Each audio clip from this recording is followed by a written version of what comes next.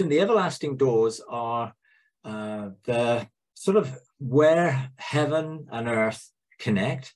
And there's a realm where the everlasting doors and there's four gates there the north south east west gate that are also connected to the solar system to the planets to dimensions. And those four gates have been inappropriately used particularly the west gate in the past um, but we have been engaging them quite a lot recently in governmental groups, opening the gates, engaging the everlasting doors, activating the everlasting doors. On Earth, uh, in the past, there were uh, receivers or crystalline receivers that receive frequency from the planets, from creation, that brought everything into a place of harmony and wholeness. Um, and that the earth was uh, in union with the planets, in union with creation, and therefore there was a sense that the everlasting doors were where that union and that frequency, both two-way communication took place. And there was this sense of oneness and wholeness.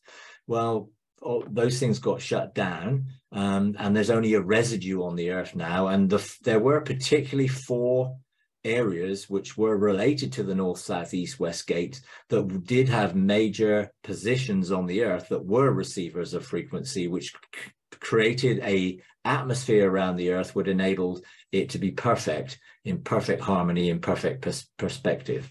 Um, now i do believe that god is giving us the authority to reconnect with the dimensions the solar system the planets all of that to bring about the frequencies that come together that on the earth now the whole of the earth will receive. And i think there are things like the nile rivers particular things that are related to creation um, that are being connected and reconnected. And I do agree with you. I would expect that an everlasting door or everlasting doors relate to some of those creational realities.